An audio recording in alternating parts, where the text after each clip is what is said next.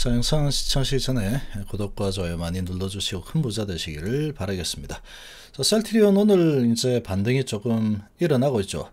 어, 워낙에 이제 패배의식에 많이 젖어 있다 보니까 정말로 큰 호재가 나왔죠.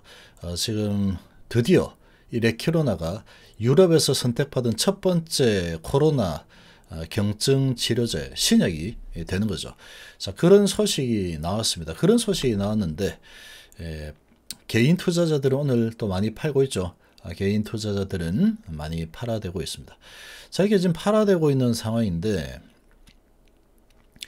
이 어쩔 수가 없죠. 이 어쩔 수가 없습니다. 지금 이제 바닥권에서 지금 한 4% 정도 올려, 올려주니까 아, 워낙에 지금 이 시장 분위기가 안 좋고 투자 심리가 많이 약화된 상황이죠. 아, 투심이 좀 살아나기가 아, 힘든 그런 지금 상황이었죠. 지금 그런 지금 이 상황 이, 이 다 보니까 이게 이제 이 쉽게 이 투자 심리가 어, 다시 살아나기가 쉽지 않습니다. 그러니까 이제 어느 정도 어, 바닥권에서 좀 올려주니까 이제 또 올라가면은 내일 또 내릴 거야. 아니면 좀 올라가다가 또 내려오겠지. 그런 심리가 이제 발동할 만한 시기죠. 워낙에 많이 두들겨 맞은 상황이다 보니까. 자, 그런 부분을 이용을 하고 있죠. 어, 그러나 제약바이오 이제 아주 정말로 큰 어, 하락을 정말 오랫동안 지속을 했고 어, 지금 가격 조정 기간 조정이 너무 시, 심각할 정도로 많이 돼 있죠. 자 그런 상황이면 이제 올려서 먹을 네, 그런 타이밍이 좀 다가왔다 이렇게 볼 수 있고 제약바이오 전체적으로 자 그리고 지금 이 제약바이오 중에서 상승률 1위가 오늘 셀티온 그룹입니다.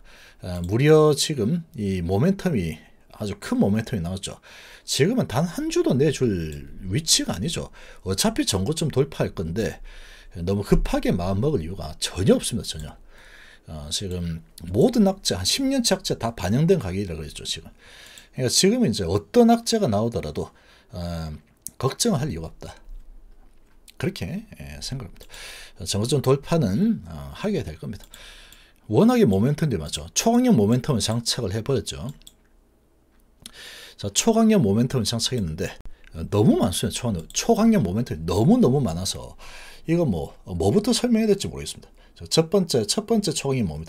지금 보면 이베스트 JP 모건 신한이 또 사고 있죠. 자, JP 신한이 또 사니까 이베스트 얘들도 따까리죠. 따까리. 얘들은 따까리입니다. 따까리는 어, 저리 꺼져. 어, 그러고 싶은데 계속 따까리 붙어가지고 옆에서 이 따까리 짓까리 하고 있는 게 이베스트죠. 이 따까리, 따까리죠. 자, 지금 이 권상을 했죠. 이 말죽거리 잔혹사에서 어, 따까리 옆에서 나오는 따까리 저도 꺼져라고 어, 그랬죠. 그 따까리 같은 옆에서 어, 지금 깐죽거리는 그런 지금 역할도 하고 있어요. 자, 신한하고 JPM하고 이베스트 어, 또 들어보시면 대표적인 이 지금 주가 조작자들, 그 주가의 방향을 결정하는 절대자들이죠, 얘들. 거의 뭐 셀트의 절대자들이다. 어, 그렇게 볼 수 있습니다. 어쨌거나 어, 그렇게 하더라도 이런 시간도 얼마 남지 않았습니다. 얼마 남지 않았다. 지금 첫 번째로 정말로 큰 호재는 엄청난 납폭카드죠. 기업이 지금 이게 신약을 갖다가 1년에 두 개를 성공시키는 그런 회사가 어디 있습니까, 지금?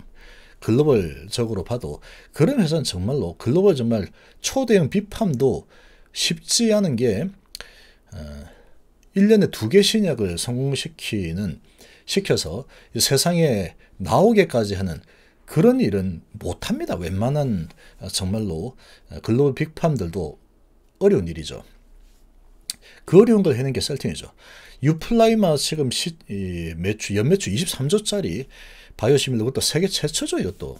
세계 최초 고농도 바이오시밀러 개발을 했죠. 자, 그런 약을 출시까지 했습니다. 그리고 또 세계 최초는 아니지만 유럽 최초, 에, 지금 코로나, 무려 코로나 치료죠. 유럽 최초 코로나 정식 승인받은 신약, 이제 탄생하기 일부 직전까지 와 있죠. 어, 그렇게, 이렇게까지 했는데 주가가 지금 여기에서부터 그 두 가지 엄청난 일을 해낸 오래 하는데 이렇게 내죠. 이게 가장 큰 모멘텀이다. 가장, 가장 큰 모멘텀이다. 지금 여기까지 내려왔는데 뭘 걱정을 해야 되느냐 이겁니다. 지금 어차피 올라갈 건데. 자, 이게 첫 번째 모멘텀. 두 번째 모멘텀은 이 무려 레키로나가 유럽에서 첫 번째 코로나 치료제로 이제 드디어 정식 승인이 날 날짜가 정말 이제 진짜로 이제 한 달 남았어 한 달. 이 두 달까지 안 갑니다 이거 두 달까지. 롤링 리뷰를 워낙에 오랫동안 진행을 했었기 때문에 두 달까지 갈 수가 없다. 그렇게 오래 리뷰를 했는데 rolling review 했는데 또 무슨 두 달을 또 리뷰하느냐. 아, 그거는 시간 낭비밖에 안 되죠. 그래서 아마 좀 빠르게 진행될 겁니다만 11월 안에 진행될 가능성도 매우 높습니다. 자, for adoption을 해서 이제 승인 권고 그리고 드디어 승인이 나오는 거죠. 이제 4일 뒤에는 승인 권고 소식이 나올 겁니다. 그럼 이제 완전히 급물살 타는 거죠, 이제. 레키로나 유럽을 장악하는 어, 항체 치료제 레키로나 이렇게 되죠. 미국은 릴리가 있다. 영국, 어, 유럽은 어, 레키로나가 있다. 이렇게 되는 겁니다. 이렇게 양분이 되는 거죠. 우리나라는 지금 지금 이렇게 좋은 레키로나를 이렇게 좋은 레키로나를 어, 지금 만들어서 지금 사용을 하게 하고 있는 상황인데 자 그런 상황임에도 불구하고 어, 그런 상황임에도 불구하고 정말로 이 경구용 치료제 뭐 거기에 지금 이 사용 이 bias가 되, 되었죠. 거기에 bias가 되어 가지고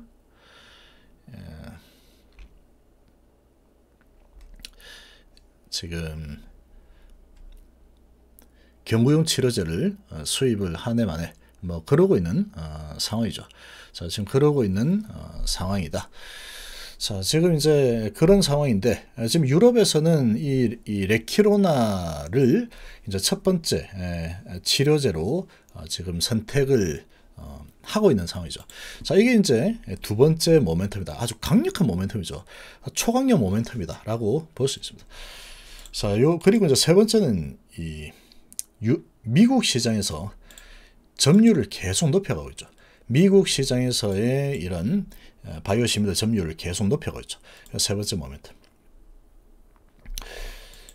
자, 그리고 이제 네 번째 모멘텀 하면은 유플라이마 아, 성공시켰죠. 유플라이마 성공시켜서 유럽 시장에 이제 진출을 한 상황. 자, 이 정도로 볼 수 있겠죠. 어, 그 정도로 볼 수 있는 아주 초강력 모멘텀들이죠.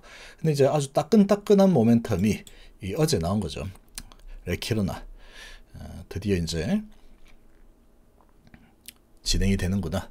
어, 그렇게 볼 수 있는 상황이죠. 자, 요런 지금 부분을 이 보면은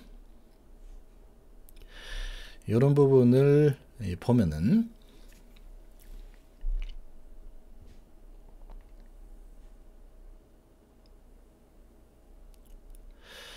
아, 결국은 이제 셀트리오는 상승을 할 수밖에 없는 어, 상황이다. 아, 그렇게 보시죠. 자, 그리고 이제 이 제약바이오가 다섯 번째 모멘텀이라고 또 본다 그러면 워낙에 또 많이 내렸습니다. 전체적으로 제약바이오가 아주 박살이 나 있죠. 아주 박살이 나 있는 상태인데 위치적으로 봤을 때 아주 크게 내려왔고 이 제약바이오 전반적으로 아주 큰 어, 지금 하락이 일어나 있는 그런 지금 어, 상황이다 보니까 이 아주 크게 하락을 하고 나면 보통 다시 이제 강한 반등을 보통 주게 마련입니다. 근데 정말로 오랫동안 지금 하락을 시켰죠. 제가 전체적으로 웬만한 지금 어, 기업들은 다 비슷합니다. 다 비슷하게 아주 큰 폭으로 하락을 어, 시킨 상황이죠. 그러면 이제 올려서 어, 먹는 그런 흐름이 나올 가능성이 아주 높은 상황이다. 그렇게 볼 수가 있겠죠. 자, 이제 지금 상황은 현재 그렇다라고 아, 볼 수가 있겠습니다. 그래서 지금 이제 이 셀티리온은 너무나 지금 많이 내려와 있기 때문에 이제 올라갈 일만 남았다라고 보시면 됩니다. 올라갈 일만 남았다.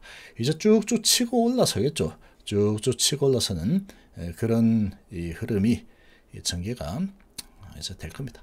그래서 지금 얘들이 또 이제 뭐 사고 있는데 사가지고 내일 팔려고 어, 또 사는구나. 어, 팔려고 사면 팔아라고 하면 돼요. 팔아봐라 하면 되죠. 어, 팔고 싶으면 팔아라 하면 됩니다. 어쨌거나 이제 지금 이 레키로나 승인이 되고 어, 승인이 되고 나서 그 다음에 이 유럽에서 이제 물량을 아주 많이 확보하는 이런 소식이 전해지게 되면은 어, 얘들 마음대로 못 할 겁니다 이제 예, 그런 시점이 되면은 그 다음부터는 아주 강력한 매수세들이 안 들어올 수가 없기 때문에 예, 강한 어, 지금 상승세를 만들어줄 새로운 세력이 또 들어올 가능성이 상당히 높다. 뭐 그렇게 볼 수 있겠죠. 자, 그래서 이제 지금 올라갈 이유는 차고 넘칩니다. 정말로. 정말로 차고 넘치는 상황이다. 뭐 그렇게 예, 볼수 있겠습니다. 그래서 지금 뭐 여기에서는 뭐 내 돈 가지고 내가 하는 거니까 본인 돈으로 본인이 결정하니까 뭐 상관없는데 투자를 하고 계시는 분이다 그러면 여기에서 투자를 갖다가 멈출 이유가 도대체 뭐가 있는지 한번 잘 생각 한번 해보시기 바랍니다. 도대체 여기에서 내가 왜 투자를 그만둬야 되느냐 이 회사 뭐가 잘못된 게 있냐 아, 그리고 거꾸로 가는 게 있느냐 기업이 지금 진행하고 있는 그 내용만 보기 바랍니다.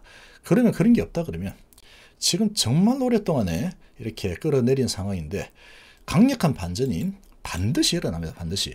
기업이 이렇게 성장하고 있는데 그러지 못할 이유를 도저히 찾아볼 수 없다. 이렇게 볼 수 있죠.